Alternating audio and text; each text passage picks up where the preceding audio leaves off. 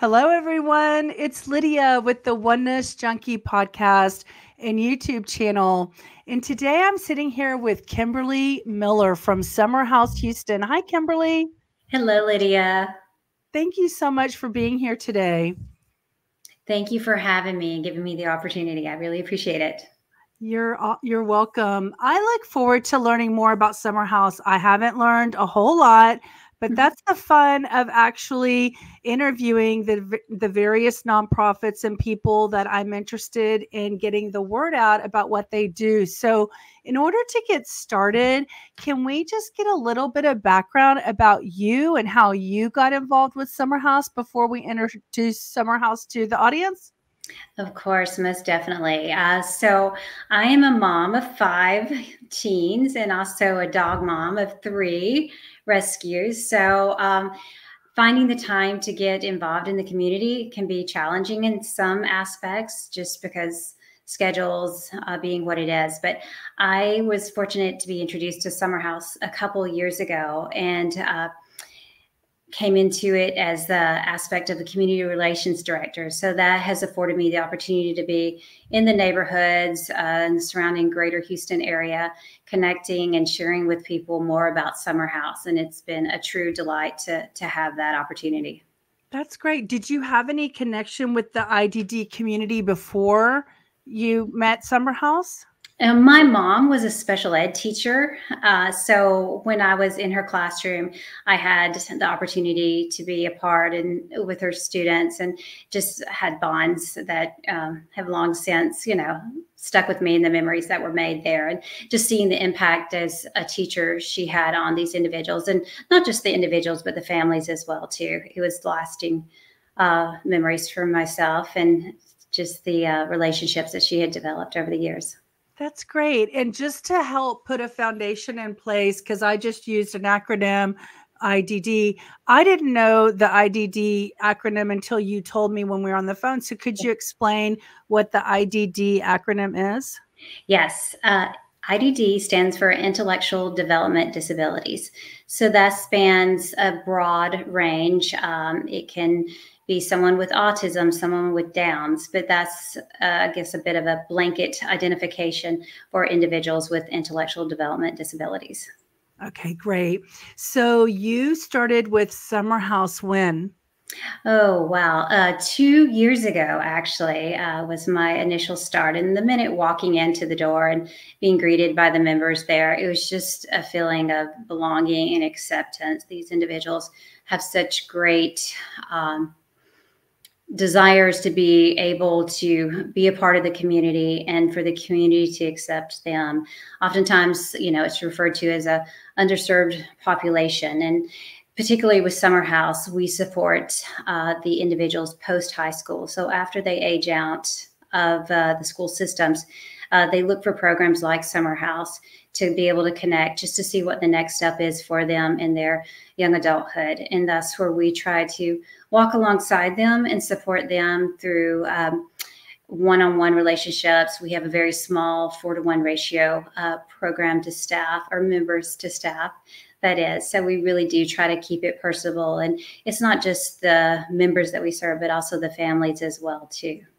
Okay, so let's go back. I like for the nonprofit to be understood from its origin. So, Absolutely. can you just go back and actually share with us how, where did it get generated? How did it become a nonprofit? Why did it become a nonprofit? Let's start there and then we'll move more into who you serve and what you're um, what you're contributing to to this population and and so forth. We'll go deeper.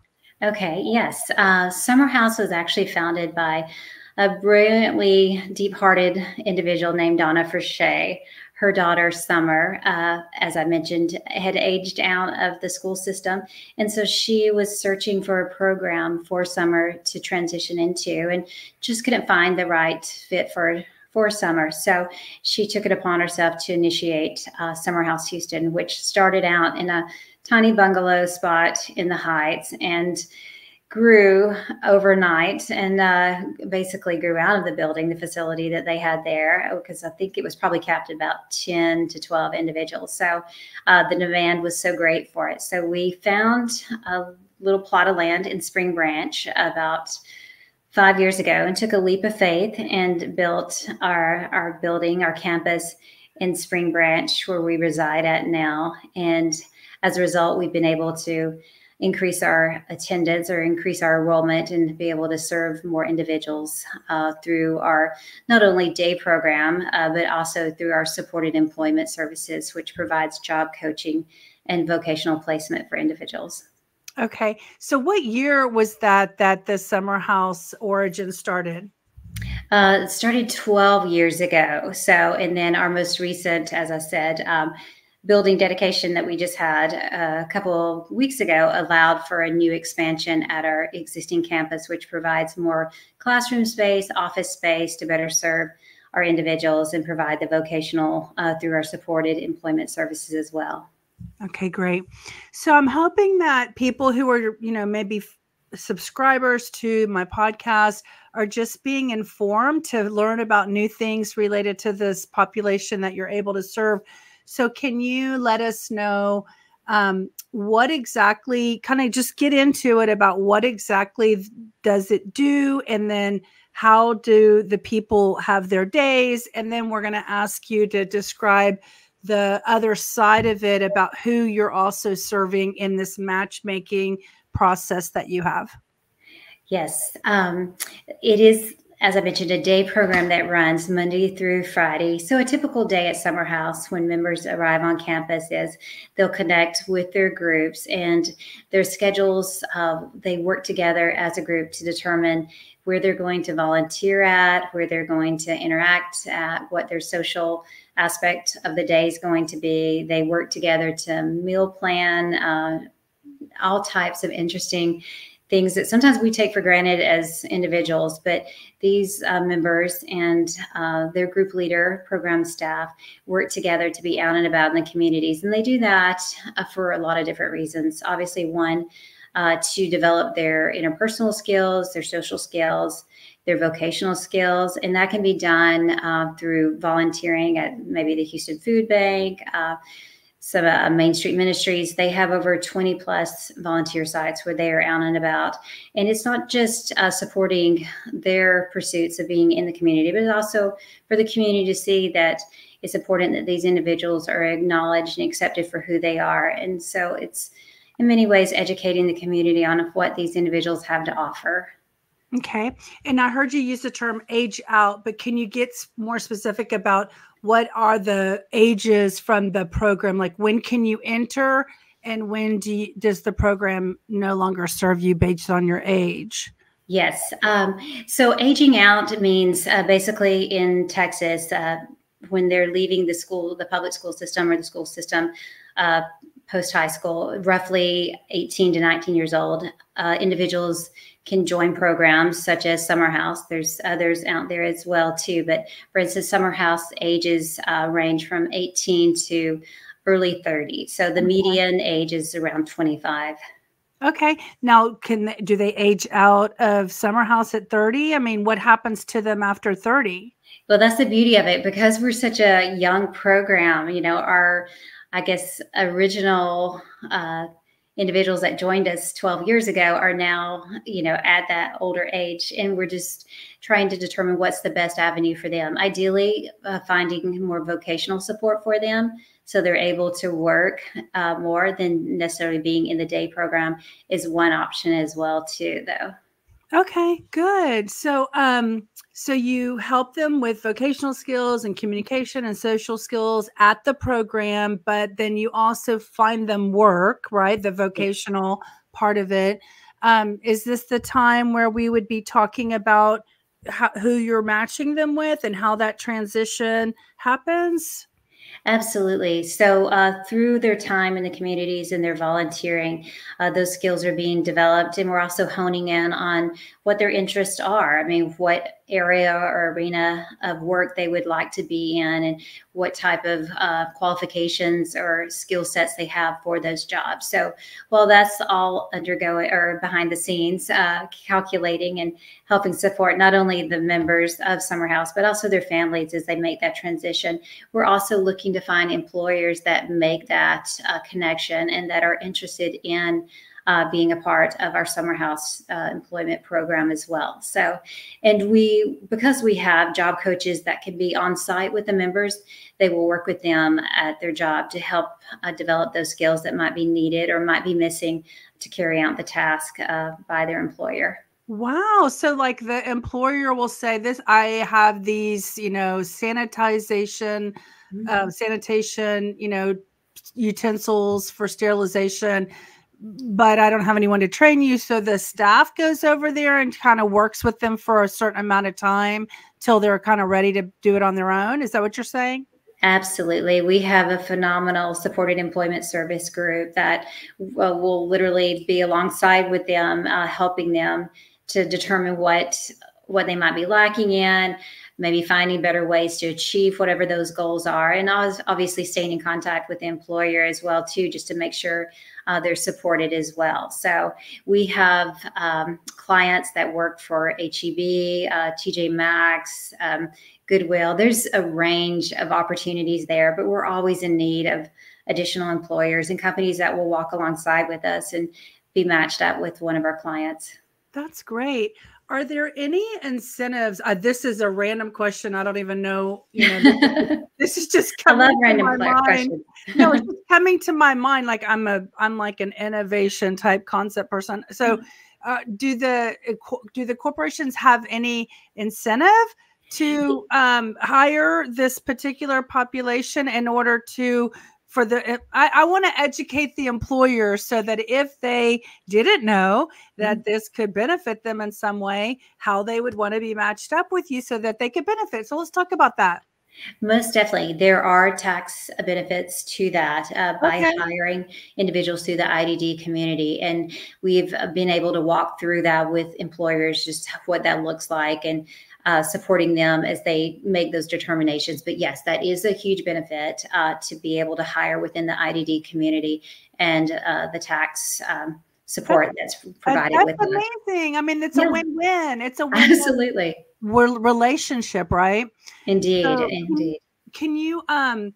tell us um i mean because when you and i were talking i was asking you like what do you need you know what can we d- talk about and you know you said you're always looking for great employer relationship opportunities to match the right um, individuals into those programs. So let's talk about some dream or where you've heard of successful things, um, successful employer situations. Maybe you don't have those in your repertoire right now, but you're looking to acquire those relationship. What are some of the industries or the job possibilities so we can spark some thoughts for any listener who might work for a corporation in the HR department that wants to consider where they can find a fit in their organization. So let's kind of help them brainstorm by talking about this. Uh, most definitely. We have some very creative individuals that are looking for jobs from graphic design to marketing to variations of business aspects. So we are always looking for those companies that are willing to take on an individual that you know with idd and be able to uh, support them along the way and like i said with summer house we're we are supporting and hanging out with them and uh, encouraging them as well too so individuals um, that not necessarily just want to be in a food service industry, but want to be in a different. Um, we have individuals that are uh, teachers' aides at some of the schools that have always dreamed to be, uh, excuse me, have always dreamed to be in a classroom setting. That we've been able to fulfill those wishes for them, and uh, some of our alumni have graduated to move on to those roles that they've never thought would be possible, but because of the uh, training and the support they've been given through our summer house and our job coaches, they're now living out those dreams. So great. And um, when we were talking, we were talking about hospital systems. What what have you found that the hospital systems have been able to um, place people and have you know jobs? Yes, we've actually had. Uh, I know at least one individual from Summer House that worked uh, in the medical center, just you know, supporting in the labs, uh, more admin type work along those lines, and uh, again flourished in that role and still probably is in that role to be quite honest. It's been a while since i checked in on her. So so hospitals yes uh, working within even as i mentioned earlier uh, just some of the food service industries whether it be the cafes uh, we have some individuals at the chick-fil-a's those type of opportunities as well too but yes yeah and so I'm, many different uh, skill sets that are involved in that yeah. And I mean, I used to be a medical sales rep, and there's, you know, the departments like the laundry department. You mm-hmm. were telling me that some of the types of jobs that these individuals love are some of that predictable, repetitive yeah. type work. So, mm-hmm. talk about that so people can come up with ideas for their companies. Absolutely. So, um, repetition is a great way to describe it. Uh, assembly line uh, format, that type of thing. Uh, we originally one of the jobs that Summer of Summer House, our original founder, enjoyed was shredding. So we uh, had a shred business within Summer House called Shred for Independence. So it just gave our members the opportunity who love the repetition of the paper going in and the sound to be able to enjoy uh, carrying out the task. So that's just one example. Uh, others, you know, rolling the silverware at the restaurants, that's another option.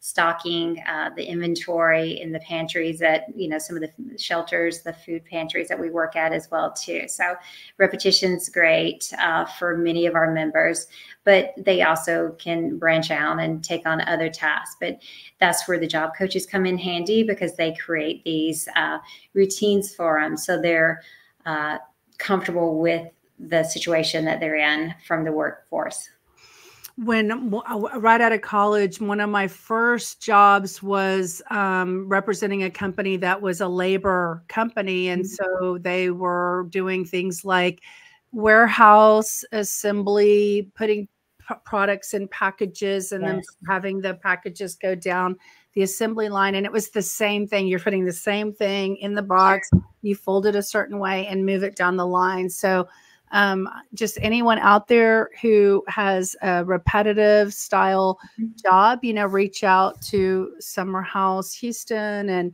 see if there's a fit see if there's a need and see if there's a fit so is there anything else that we should talk about related to summer house to let the world know what Summer House is up to. Well, yes, thank you, Lydia, again for the opportunity. Uh, we are uh, fundraising, as many nonprofits uh, this day and age is finding it more and more challenging. But that being said, we're very hopeful for the opportunities that our fundraising allows for scholarships for individuals that may not otherwise be able to.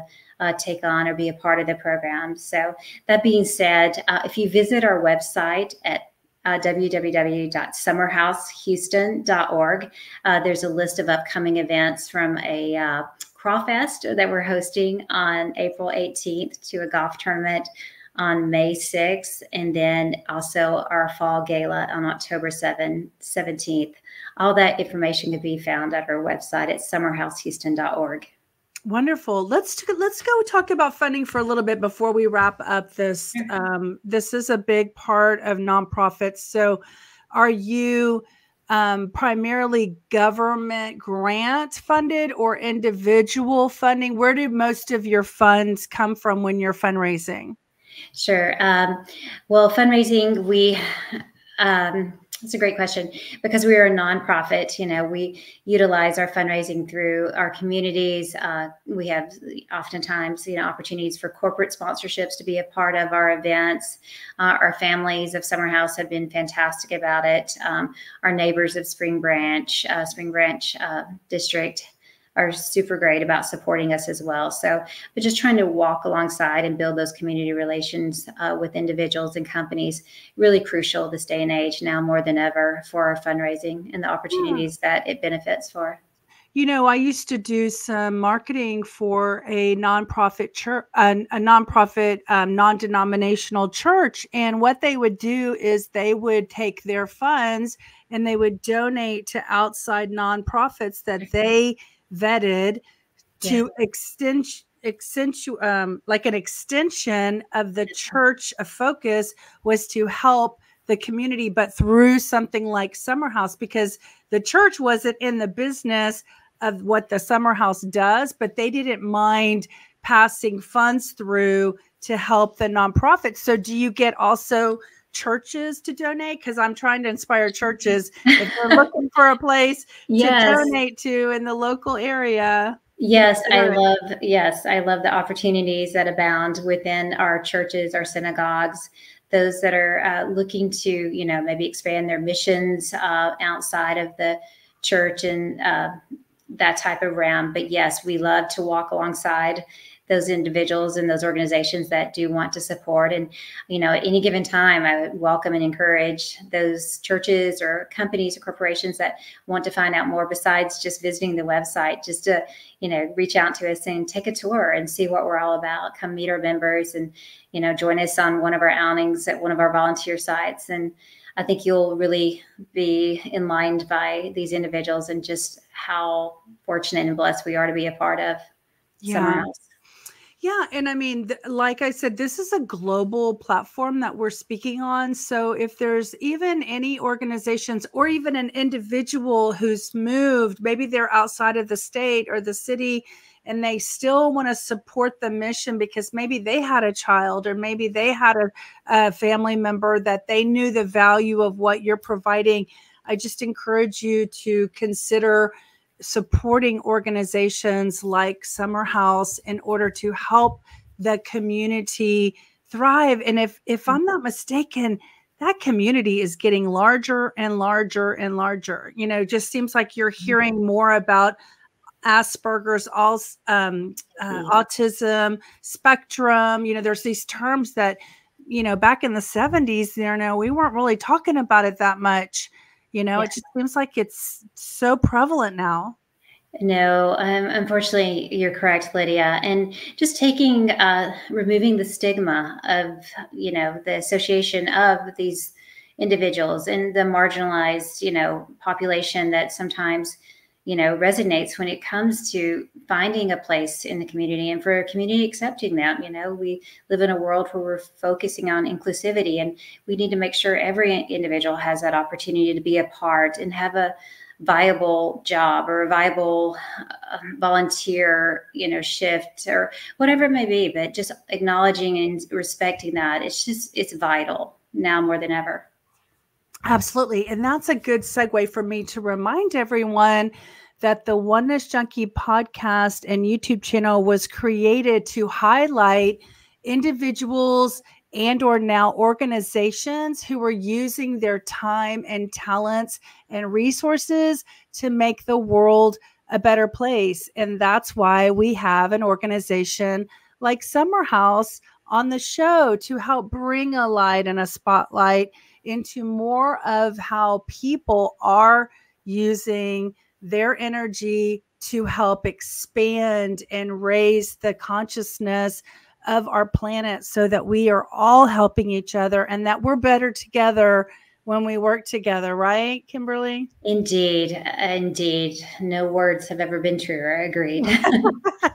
Good. Well, we're here to spread more compassion and love in the world. And I know that y'all are already doing that. So I just want to thank you for giving me the mm. opportunity to highlight y'all and share what y'all are up to. And I really hope that you know you have a, a fantastic year of fundraising and the the more funds you get the more you're able to service the population that you're focused on right and yes most definitely and again um, any questions that you guys may have please feel free to reach out to me as well my email address is kimberly at summerhousehouston.org as well Great. So go ahead and go to www.summerhousehouston.org. I'm sure they have a contact us form on there, mm-hmm. and then y'all can get a communication.